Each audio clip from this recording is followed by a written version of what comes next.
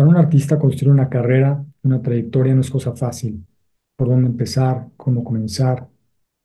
En los días en los que yo empezaba, el primer requisito era contar con un currículum. ¿Y cómo contar con un currículum cuando no había posibilidad de exhibir?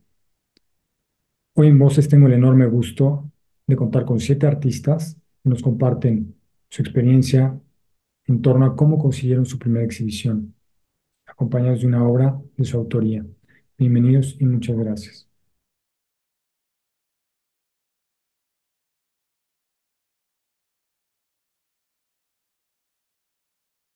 Hola, soy José Castro Liñero. Eh, la pregunta es, eh, ¿cómo conseguí mi primera exposición? Este, fue, hace como 50 años. Esa exposición fue en el año de 1976. Según el currículum eh, que veo, este, el título fue simplemente dibujo. Eh, para ese entonces estaba yo estudiando en la Escuela Nacional, en la, Escuela Nacional de Artes Plásticas eh, de la ENAP. estaba estudiando la carrera de artes visuales en San Carlos, el edificio emblemático en ese entonces eh, relacionado con, el arte y con la enseñanza del arte. Eh, estuve como dos, era el momento que ya tenía como dos años estudiando ahí, pero yo había ya eh, comenzado a trabajar por mi cuenta eh, un poco encaminado sobre todo a la producción del dibujo, que, era, eh, que es algo que siempre me ha interesado. Eh, había desarrollado una técnica, bueno, muy personal en ese entonces porque lo, la realizaba con mucho, mucha frecuencia y como que había, me había dotado ya de cierta, de cierta habilidad, de cierto virtuosismo que era el dibujo con la pluma atómica.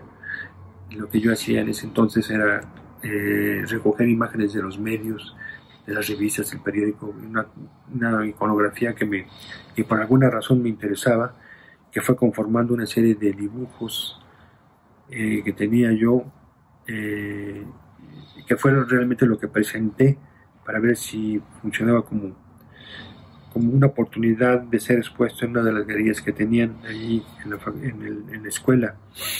Este, me fue favorable la respuesta, afortunadamente, y me dieron la, la oportunidad de exponer en una de las galerías. Este, eh, debo decir que este, que este, discurso que comenzó de una manera un poco eh, un poco inconsciente, como que se ha un poco mantenido a lo largo de los años esta intención del trabajo. Eso es, eso es interesante para mí recordarlo. Este, eh, se, se, dio la exposición, como que fue una gran experiencia. Eh, fue, es, una, sin embargo, algo que en ese entonces como que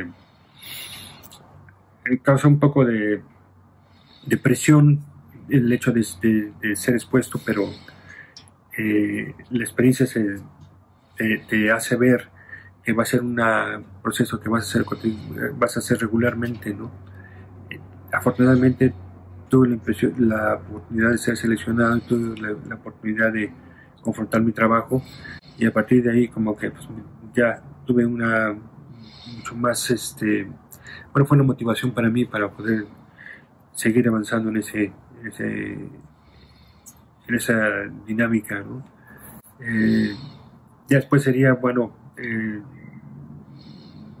esa experiencia repetida en galerías o museos pero pues el principio fue siempre siempre es, es este importante ¿no? es lo que puedo decir Muchas gracias. Gracias.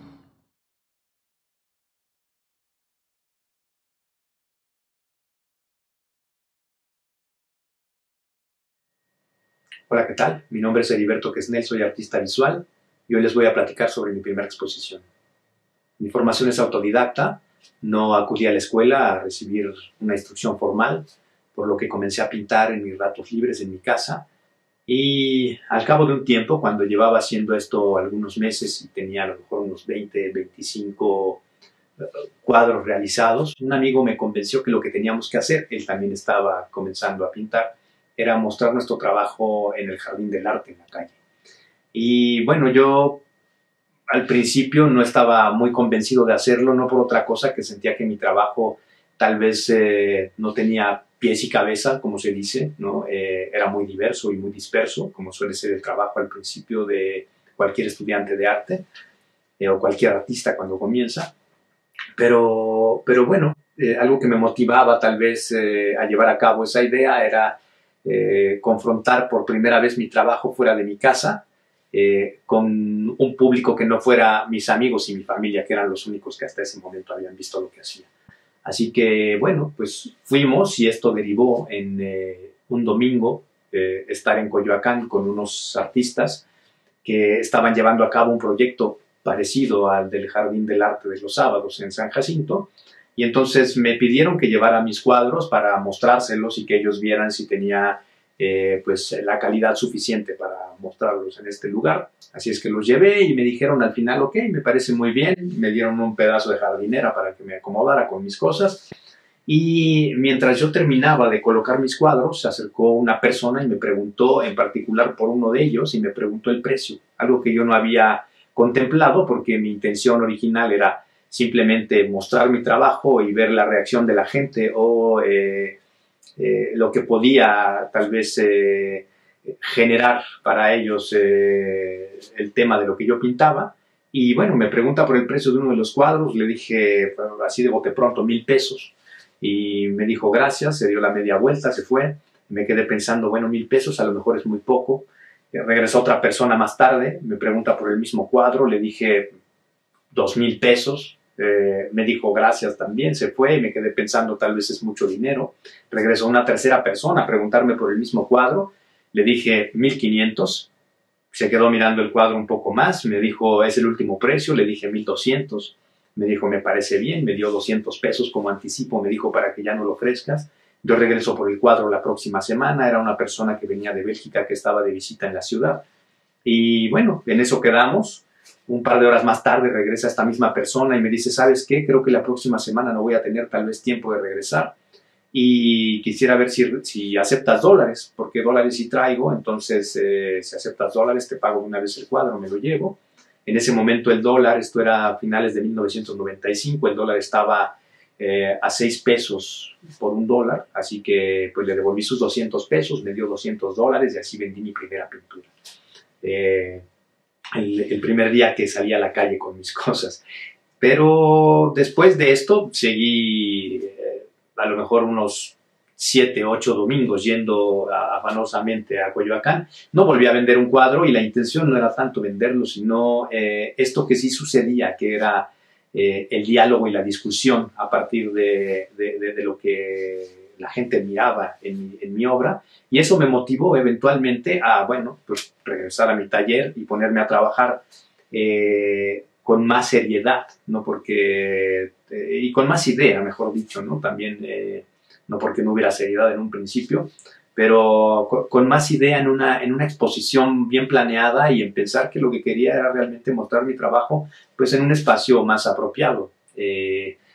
Así que me puse a trabajar en una serie de cuadros que se llamaba La, caída de Ícaro y los hijos de la Malinche, que tenía que ver un poco o mucho a partir de la crisis económica de 1994.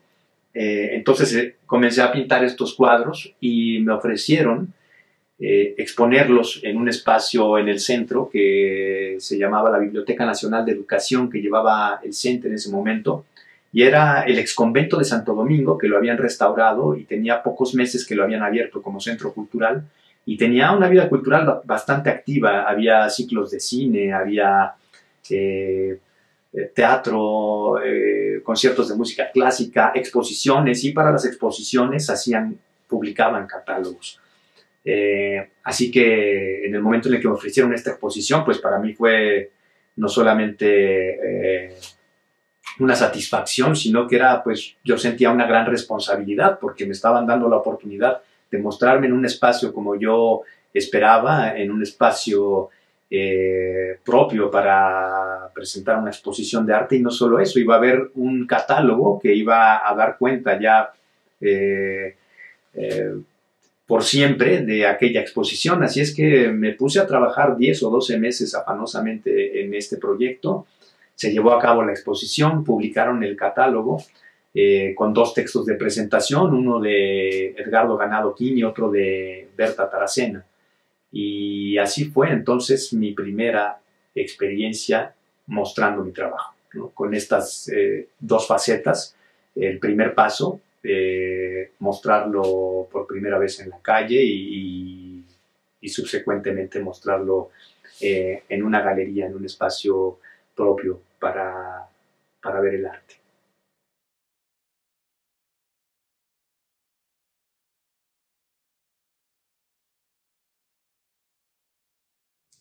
Mi primera exposición se dio como por una circunstancia muy al azar. Teníamos, eh, fue en Nueva York, teníamos yo y unos cuates unos estudios en Williamsburg, en Brooklyn, y para llegar a, al estudio de un amigo mío tenías que pasar por mi estudio. Entonces él un día invitó a un curador para una visita en su estudio, enseñarle su arte, y pues este, pasaron por mi estudio y el siguiente día mi amigo me dijo, oye, el curador pasó por tu estudio y le gustó lo que vio en las paredes, este, me dijo que le hables. Y bueno, pues este, le hablé y me acabó poniendo en un show de, de una colectiva.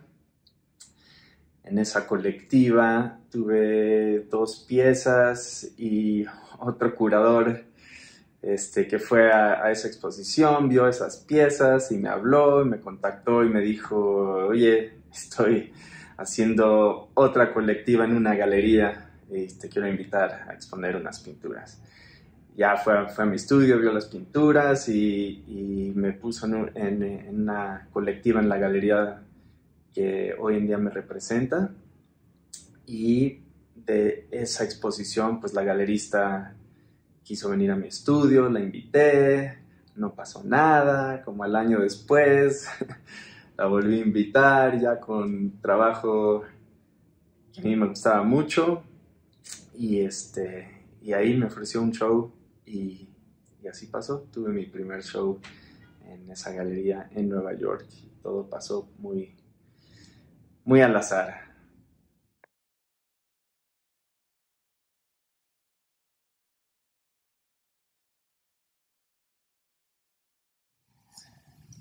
Hola, buenas tardes. Mi nombre es Miguel Ángel Cordera, soy artista visual. Llevo 35 años pintando.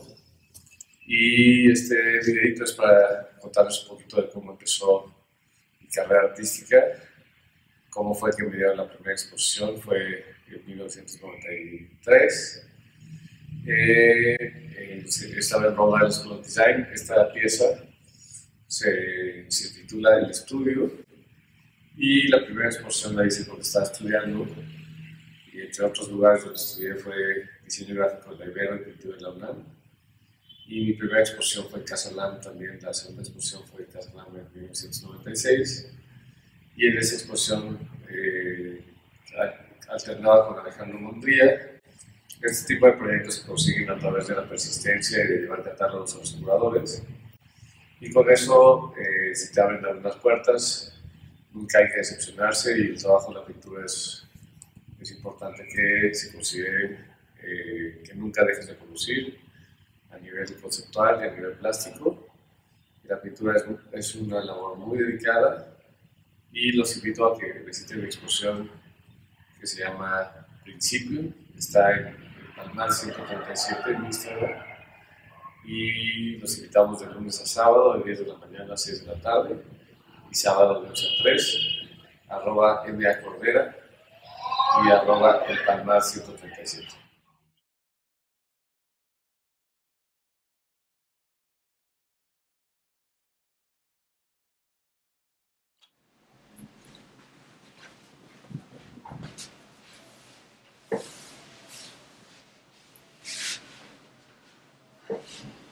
Hola, mi nombre es Karen Reyes Villarreal vivo en San Nicolás de los Barrios, San Nuevo León. Aquí he vivido casi toda mi vida.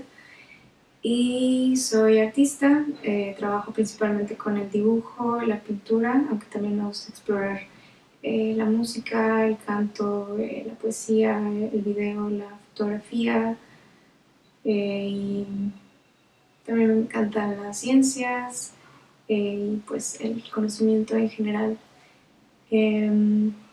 Y hoy les vengo a hablar sobre cómo obtuve mi primera exposición, mi primera exposición y bueno, el recuerdo que tengo es que yo empecé a pintar a los 12 años y alrededor de los 14, 15 conozco a un pintor, un chico que vivía cerca de mi casa, que estudiaba, creo, sociología. Y, y él compartía sus pinturas y eran muy bellas y yo también compartía mis pinturas y mis dibujos en ese entonces en Fotolog. Y entonces yo veía su obra y, veía que exponía con otros artistas y le, no lo conocía él muy bien, simplemente era como un conocido, este, no era mi amigo, pero lo contacté y le pregunté si eh, había posibilidad de que yo expusiera en alguna de las expos donde él participaba y me dijo que sí, que sin problema me contactara con César Naranjo, una persona que estaba liderando este grupo de artistas independientes en la ciudad, en Monterrey. Y entonces voy con César, era un señor de unos 40 años más o menos, y, y le presento mi obra y me dice, sí, perfecto, este, muy muy, muy amable, muy eh, dándome la bienvenida a pesar de que yo tenía 14 y 15 años. Y entonces tengo aquí en mi, en mi cuarto, en mi estudio, tengo eh, ese primer cuadro que expuse. Fue este, un retrato de mi imaginación de una mujer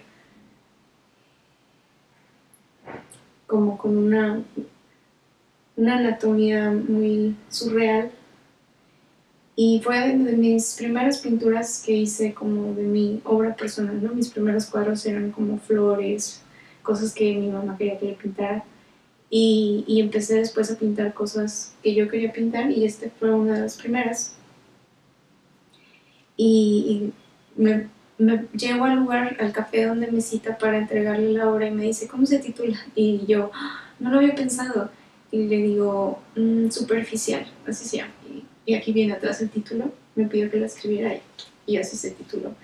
Y aquí lo tengo, me gusta mucho, mucho tiempo lo tuve guardado, escondido, y, y después como que salió a la luz y, y, me trajo buenos recuerdos y lo tengo ahí colgado ahora.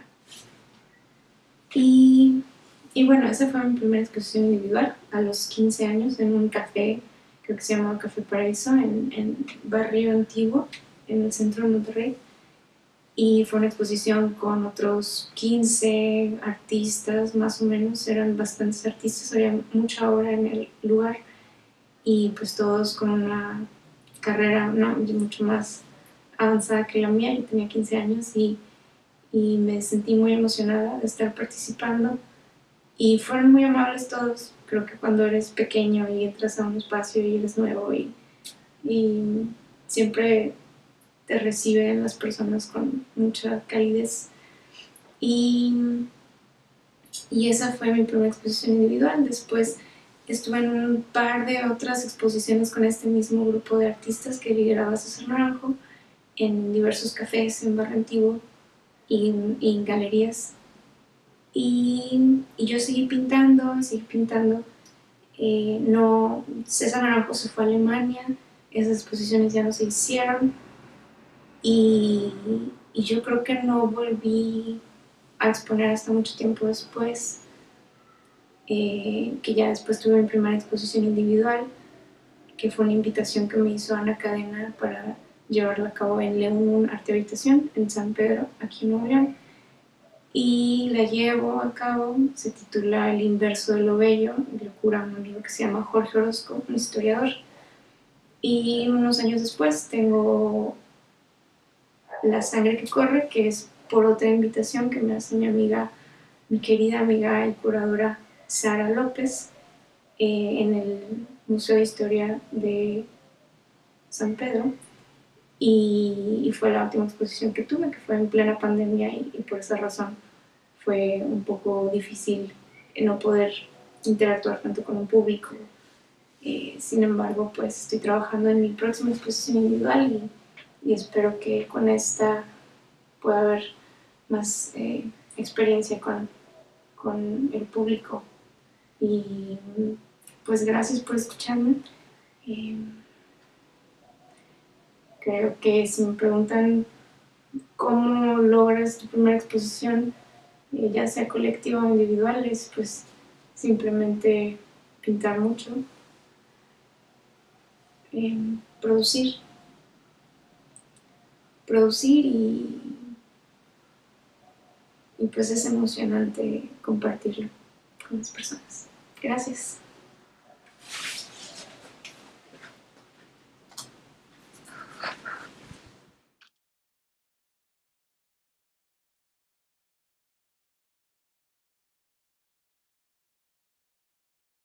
Mi estimadísimo y muy distinguido este maestro del Valle.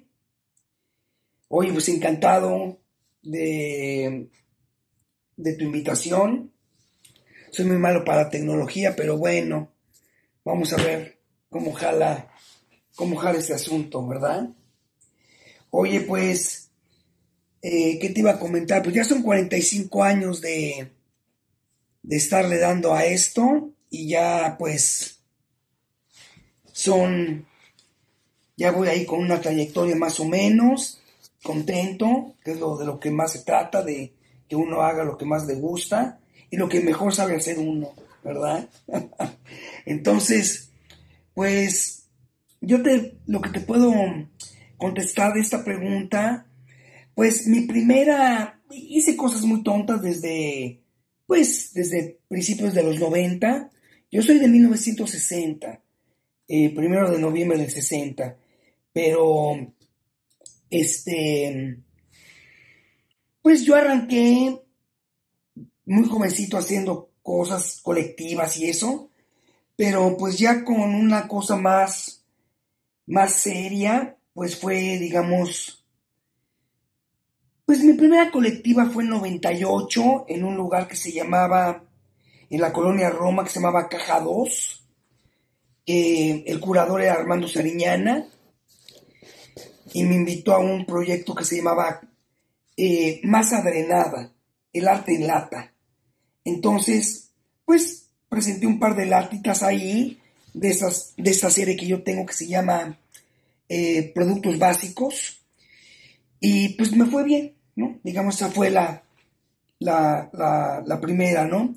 Individualmente, pues mi primera exposición individual fue en, em, en, el, Museo eh, o más conocido en Cuernavaca como el Palacio de Cortés o de Hernán Cortés. Entonces, muy bonita porque, pues ahí me localizaron de parte de la directora, que en ese tiempo era Cristina Borboya, yo no la conocía ni nada, y quería hacer una, una exposición eh, de arte contemporáneo, con, de alguna manera con la connotación de lo que yo hago, en un, en un recinto histórico eh, de, de, la magnitud del Museo Coahunáhuac, eh, para hacer una, una, una contrarrestar esta, esta, carga histórica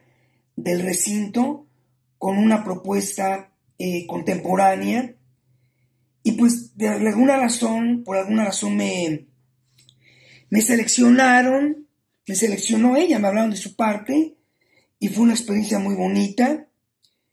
Em, y se pintaron las mamparas de un azul eh, eh, oscuro. Muy, muy impresionante la, la museografía que lo hizo, por cierto, eh, Alicia, Alicia Lozano, que venía del, de, de Jalisco con su equipo y fue una, una, cosa muy buena. Entonces a partir de eso pues empezó mi, mi trayectoria ya, ya más en forma. Es lo que puedo decirles. Y pues por acá andamos, espero que te sirva y cualquier cosa a sus órdenes, mi ínclito maestro. ¡Ay!